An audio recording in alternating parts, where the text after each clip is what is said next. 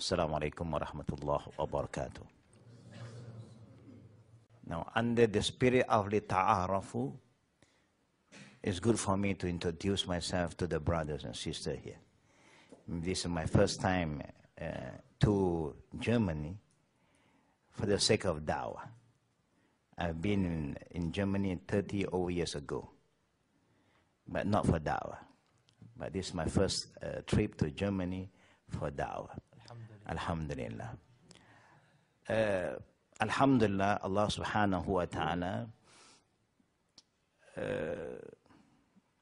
make me from a family, from a Chinese family. I was born from a Chinese family. And we believe like what the Prophet have said, كل مولد يولد على فطرة فأبواه يحودانه أو ينصرانه أو يمجسانه. Every child is born clean, fitra. They are born like Muslim. But it is the parent who will, the upbringing of the parent who will decide whether they will become a Jew, a Christian, a Nasrani, a Majus, or a Buddhist or anything. It is the parent. Now, my parents, they are all Chinese. They are not Muslims. They are not Chinese Muslim, but they are Chinese. They are Buddhists. They are Taoists. So, being uh, uh, a Buddhist family, you, you will become a Buddhist. it's part of a tradition, yeah? Because your parents are Buddhists, Taoist, Taoist Buddhists, they join together. Uh, they, they can be together in one place, you know? because to them it's not an issue. You go to the Chinese temple, you find a Buddhist tem- uh, idol there. You go to the Buddhist temple, you find a Chinese idol there. So it's a joint venture. So it's not a big deal. So I was born with that environment, so I become a Buddhist. So being a Buddhist is part of my nature when I was very young. I love, I love to go into the spiritual area of any religion. So because I was born in a Buddhist family, so I was involved in the temple. I was involved uh, very close to the Muslim, to the to not not the Muslim monk, to the Buddhist monk. Yeah. Um, now, when I was serving in the Buddhist temple, I was exposed to a lot of the teaching, the values, especially, you know, Buddhism always encouraged the followers to be very humble, yeah, to meditate, yeah, to make some kind of yoga exercise, to make sure that you are healthy in your mind, in your body, so that you have a pure soul. Yeah? That is part of the training. Buddha is not a name. Buddha is a title given to Gautama. Gautama is one of the prince. He is no uh, God. He never said that he is God. He's just a prince who was looking for something that he missed, that he didn't have it when he was staying in the palace with his family. Now, when he was looking for something, because in the palace, you know, in the time of Gautama, in the palace, the father remind all the people that is in the palace do not show to his son any kind of suffering. Everything that happened in front, the son must be happy. Nothing but happiness. So one day when he managed to leave the palace, follow the father for a tour outside the palace, Allah subhanahu wa ta'ala give him the opportunity to see the real life outside from the palace. There is a lot of people is living in suffering, pain, hunger, sickness. Now then he start to think. Now he start to think When he start to think in the in the Buddhist term, in the Sanskrit, they said is Bud. Bud means he start to think the awakening of Gautama. The word Bud. Bud. Bud. Now, whether Gautama Buddha is a prophet or not, Wallahu alam bisawa. We believe, وَلَقَدْ بَعَثْنَا فِي كُلِّ أُمَّةِ رَسُولًا أَنْ نَعْبُدَ اللَّهِ وَاجْتَنِبُ الطَّاغُوتِ That Allah have sent to every nation a prophet, a messenger that will invite them to worship one God and abstain from worshiping other than one God, the Satan, things, humans, stones. But later on, when I look into the teaching of Buddhism, to me as a, as a young man, I found out that there's a lot of don'ts than the do. In Buddhism, there's a lot of don'ts than the do. Because a pure Buddhist will not allow you to eat any animals, no chicken, no meat, no fish, pure vegetarian. And not every vegetarian vegetable is allowed to eat. Not every vegetable is halal in Buddhism. And even vegetable, not all vegetable is halal. Because in Buddhism, at that point of time, say killing is haram. No killing. So if you, like the bean sprout, you know the bean sprouts?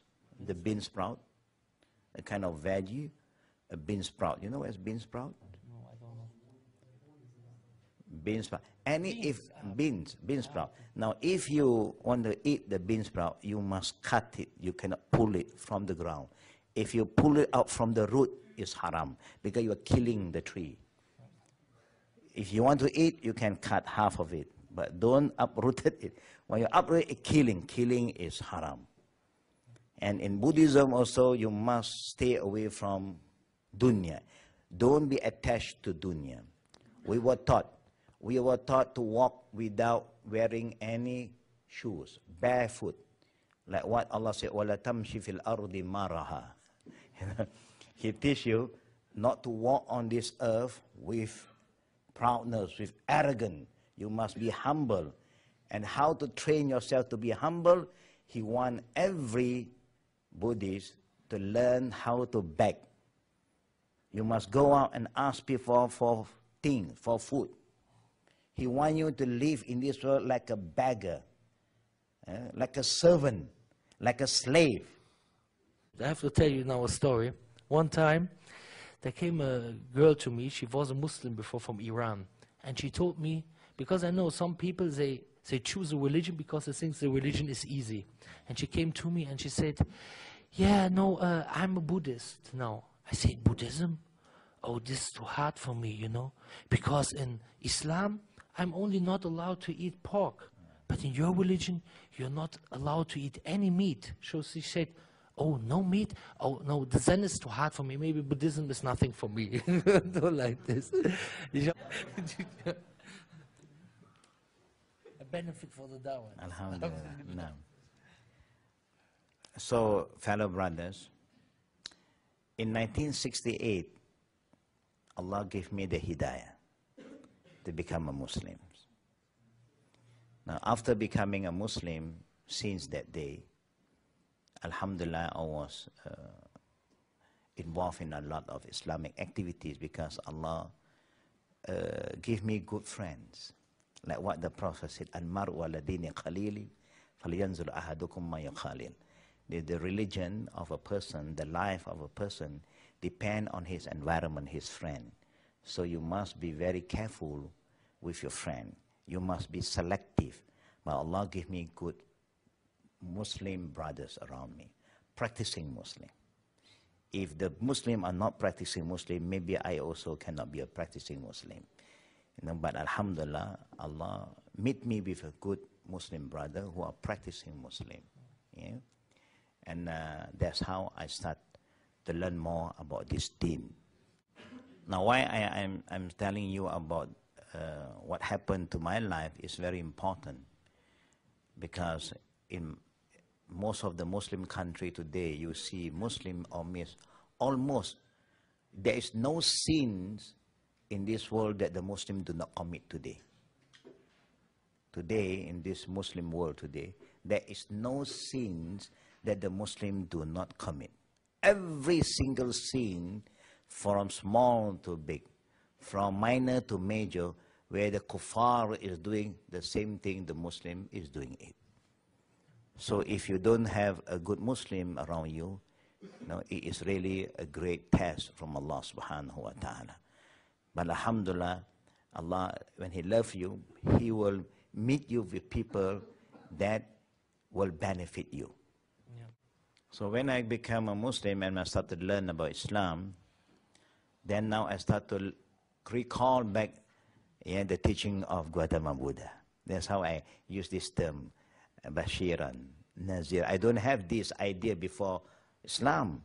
Only after I come to Islam, when I learn more about Islam, then I look in the teaching of Gautama Buddha, to my experience, I don't see anything that the teaching of Gautama Buddha is against Islam, to my experience. Whether we want to accept him as a prophet, wallahu alam, because we believe that the Prophet did mention in one of the hadiths that there are 120,000 of prophet been sent from Adam to Prophet Muhammad. Only 25 is mentioned in the Quran. Allah also informed the Prophet that there are many of the name that I, Allah, did not inform you, O Muhammad. So we do not know, but the criteria, yeah, the essence of all the Anbiya we know is to call people to Tawheed and to abstain from Tawhid. And in the same time, it's also there to remind people about the good news if you believe and warning for those who disbelieve by Shiro wa Nazira. That's for the Dukkha and the Sukha. And talking about Qadar and Qada, about life after death. That was part of the teaching of Buddhism. Yeah? But I'm saying to you why, because a lot of people are not aware. It's just what happened to Jesus in Christianity. Jesus did not teach anybody to worship him. Neither he said he is God, he is Son of God. But it's the people who start to make this kind of uh, claim that, oh, Jesus is not just a human, but he's no more a son now, but he is the Holy Father and the Holy Son and the Holy Ghost. Now, the same thing happened to Gautama. Nothing in his time he allowed anybody to worship him. Never he said that I'm God. Never once he said that I don't believe in God. But a lot of Buddhists today, they say Buddhism have nothing to do with God. It's just a, a philosophy of life. But that's what some Buddhists claim. But if you go back to the pure teaching of Gautama Buddha, you look into the Dharma, you will find that he himself worshiped one God. Who is that God? We do not know. But he is worshiping one God. Lastly, just to be, you know, to, because uh, I, I promise our brothers it maybe a half an hour, 40 minutes, and then we may have an open session later on, inshallah. Now, if you look into, through my experience, I'm, sh I'm sharing with you what I have gone through, yeah? not more than that. The, the objective, uh, I mean, the, what Gautama Buddha is trying to teach his people, his disciple, is to attain from nafsul ammara bisu to nafsul lawama and you end in nafsul mutma'inna.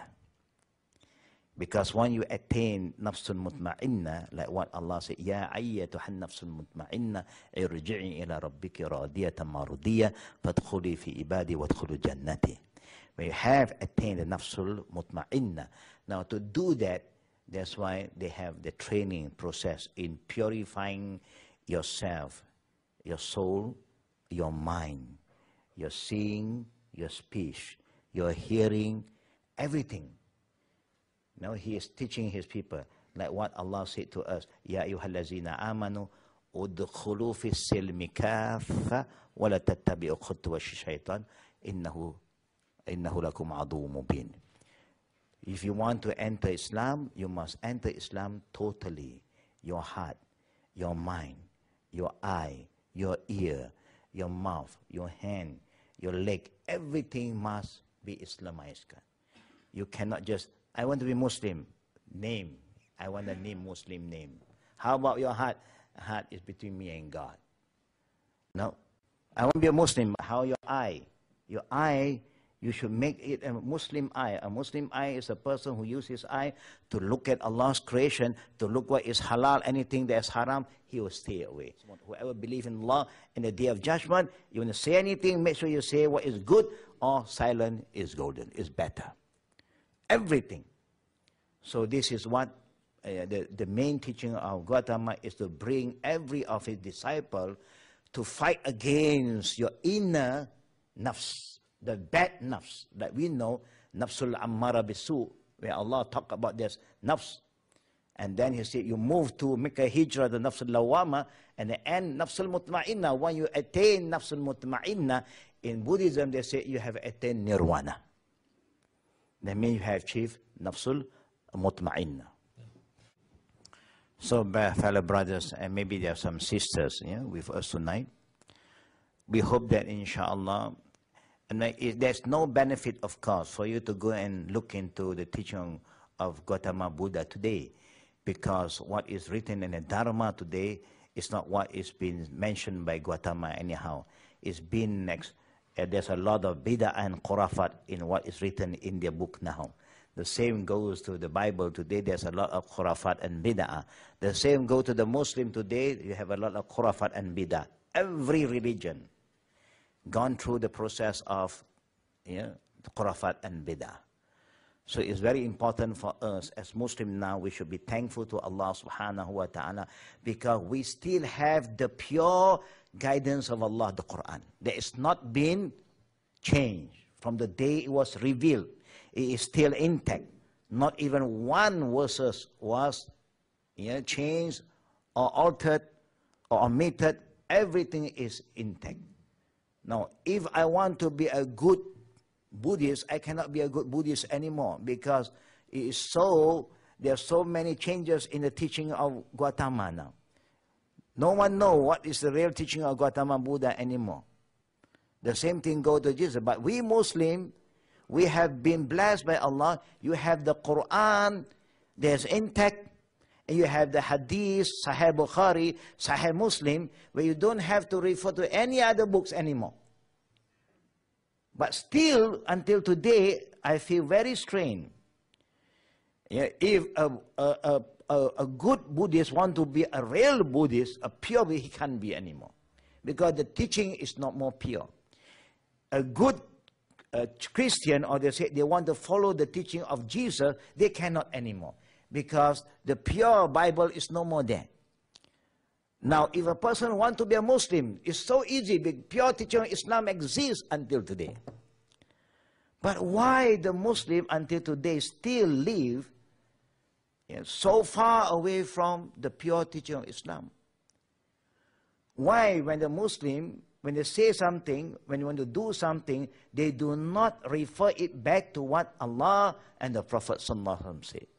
That's why Allah subhanahu wa ta'ala remind us, وَمَا كَانَ لِمُؤْمِنٍ وَلَا مُؤْمِنَةٍ إِذَا قَدَ اللَّهُ وَرَسُولُهُ أَمْرًا أَن يَكُونَ لَهُمُ الْخِيَارَةُ مِنْ أَمْرِهِمْ وَمَا يَعْصِ اللَّهَ وَرَسُولَهُ فَقَدْ ضَلَّ ضَلَالًا مُبِينًا A true believer, male or female, if Allah and the Prophet have decided something for you, when Allah have made a decision, and the Prophet have said something, do this.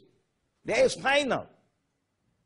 You cannot say to somebody who tell you what Allah and the Prophet say is okay, I know this is called Allah, I know this is from the hadith, but you know, I want to ask my sheikh, you know, I want to ask my imam and see what he say.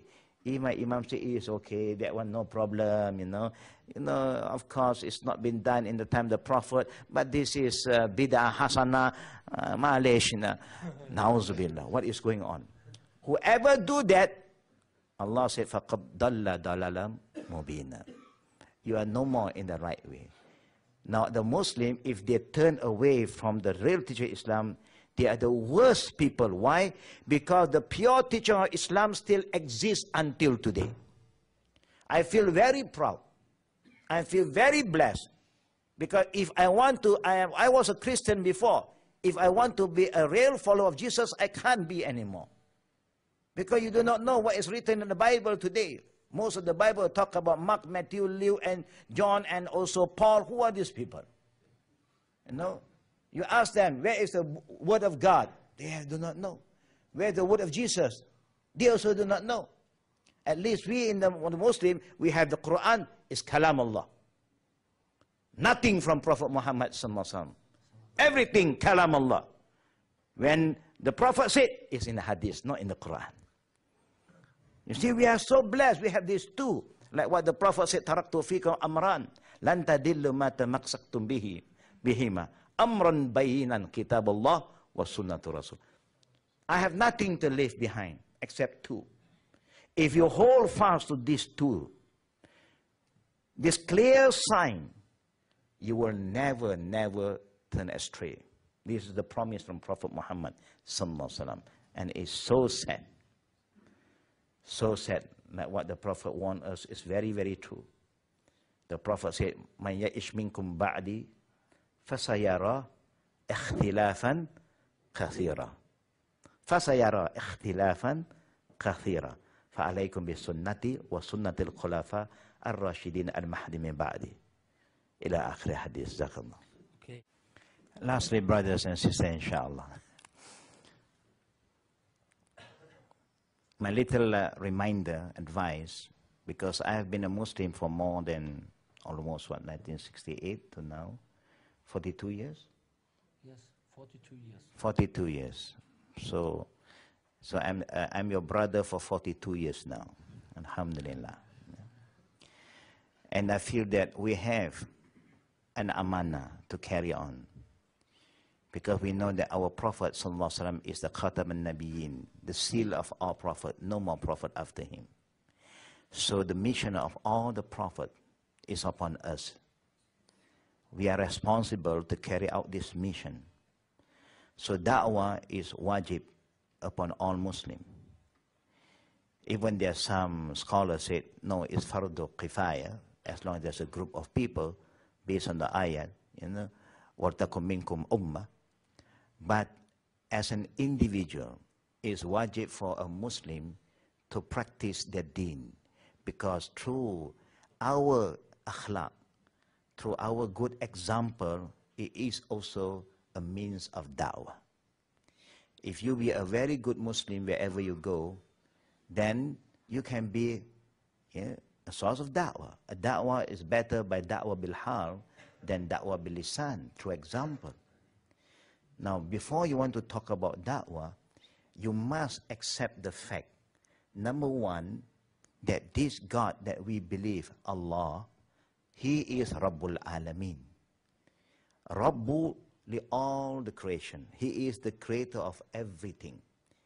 We cannot say that Allah is my God, but it's not His God. No. Allah is the God of everything.